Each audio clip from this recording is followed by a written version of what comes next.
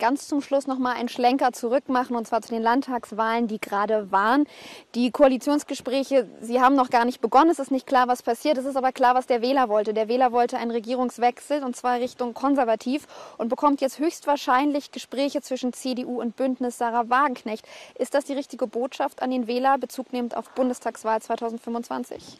Wir haben den Wählerinnen und Wählern in Thüringen und in Sachsen, genauso wie jetzt in Brandenburg, immer gesagt, vor der Wahl und nach der Wahl nichts anderes. Es wird eine Zusammenarbeit mit der AfD nicht geben. Die Wählerinnen und Wähler der AfD haben vor der Wahl gewusst, die Funktionäre im Übrigen auch, dass keine andere Partei, die CDU eingeschlossen, bereit ist, mit dieser Partei zusammenzuarbeiten.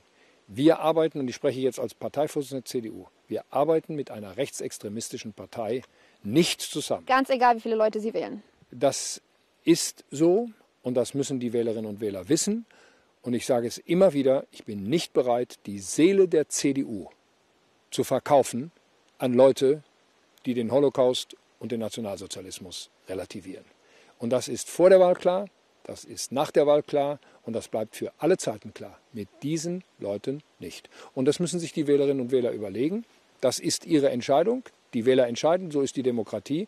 Aber wir entscheiden, mit wem wir zusammenarbeiten, mit denen nicht. Die Leidenschaft nicht verkaufen gilt dann aber nicht bezüglich der Ukraine und Putin, wenn man bereit ist, mit dem Bündnis Sarah Wagenknecht zu arbeiten, oder? Es wird in Thüringen und in Sachsen, genauso wie später in Brandenburg, nicht über den Weltfrieden entschieden und nicht über die Außenpolitik und nicht über die Sicherheitspolitik. Das sind Fragen, die wir in der Bundespolitik zu entscheiden haben. Hier geht es um landespolitische Themen. Es sind jetzt Abgeordnete in den Landtag gewählt worden für diese Gruppierung. Die werden jetzt sagen müssen, was sie wollen.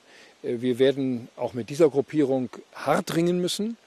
Aber wir müssen einfach sehen, dass es in beiden Ländern stabile Regierungen gibt. Da ist die CDU in der Verantwortung. Ich höre viel von draußen, was alles nicht geht.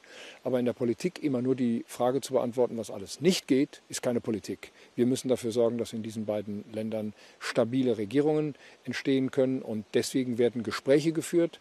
Aber es sind Gespräche von Sondierungen oder gar Koalitionsverhandlungen weit entfernt. Ich will gar nicht ausschließen, dass auch diese Gespräche nicht weiterführen. Dann wird die Lage kompliziert, aber wir entziehen uns hier nicht unserer Verantwortung mit der glasklaren Botschaft auch an AfD und Linkspartei. Die Parteitagsbeschlüsse der CDU gelten und die sind kein Selbstzweck, sondern das ist unsere DNA als christlich-demokratische Union Deutschlands.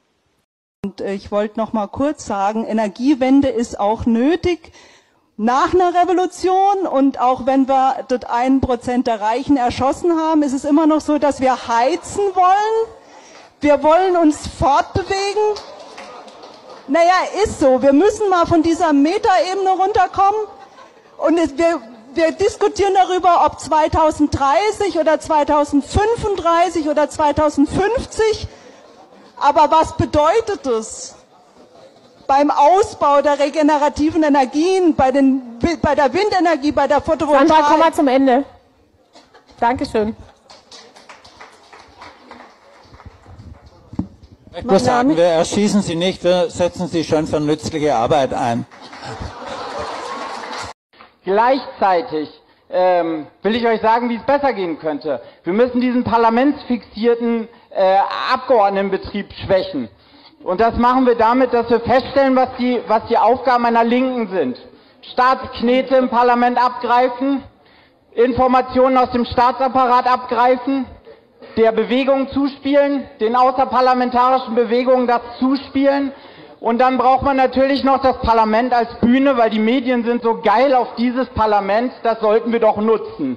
Aber alles, was darüber hinausgeht, brauchen wir nicht unbedingt. Es gibt in jeder Stadt eine vernünftig operierende Antifa. Und da könnt ihr mal die gesamte Kohle hinpacken, anstatt mit SPD, Grünen und CDU eine Einheitsfront zu bilden. Ich glaube, da hat die Antifa mehr von und wir haben den Nazi-Dreck irgendwann auch weg. Vielen Dank. Ihr seid wirklich sehr solidarisch.